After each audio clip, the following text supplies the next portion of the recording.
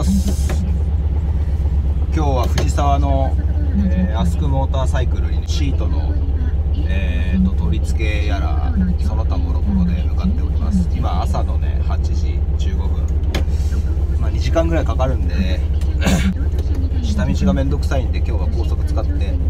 ちょちょっと遠回りなんですけどね。茅ヶ崎の方回っていこうかなと思います。では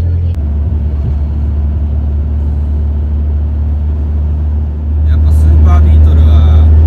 高速が本当に楽ギア比がハイギア度なんで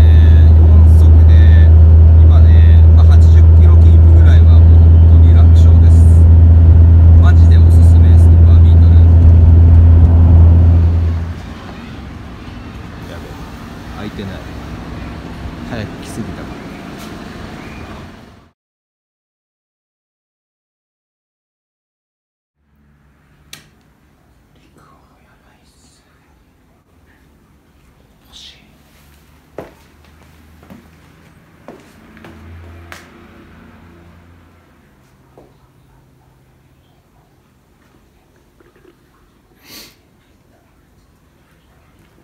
ちなみに僕が作ったシートです。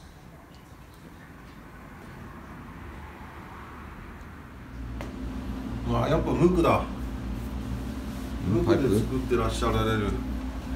らっしゃられる。らっしゃられるわこああ本当だ。れ無垢でやってらっしゃられるだ。ああ。14 14回あったんだ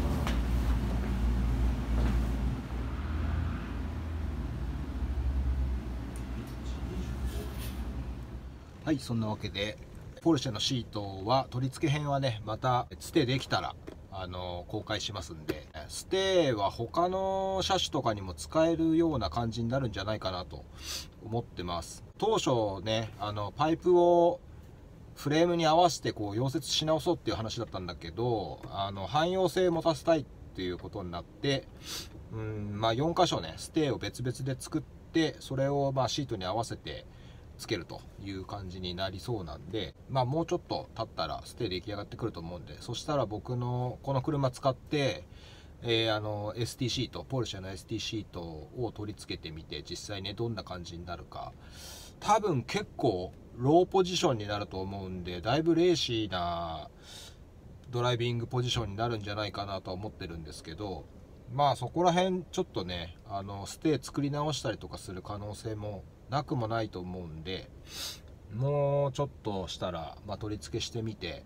えーまた公開しようと思います。それで今日ね、まあ、ステ作る作業の後にあ最近アスクモーターサイクルも YouTube 始めまして、えーチャンネルを持っております。ほんでなんかその仕事でね一緒に絡んでる人たちを紹介するようなコーナーがあるみたいででそれのまあ一応第1回的な感じで僕との対談みたいな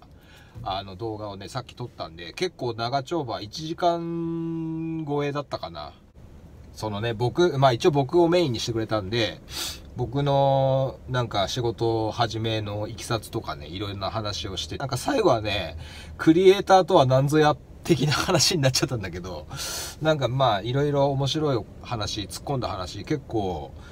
普通の雑誌とかじゃあんまり聞けないような話ももうざっくばらんにいつもの感じで話してきたんでアスクのチャンネルに、えーアップされると思うんでうちの概要欄にねアスクモーターサイクルのチャンネル貼っとくんで興味ある方はぜひそっちあの見ていただけたらと思います。これからあのねクリエイティブで食ってきたい人とかまあ今実際にやってるんだけどなんかこう仕事のヒントがないとかいう人には結構いい内容なんじゃないかなと思うんで、えーもしよかったらチェックしてみてください。ちなみにねここは、えー圏央道の厚木パーキングでなんかトイレがねすごい江戸？江戸っぽい？興味ある方いたら寄ってみてください。ではまた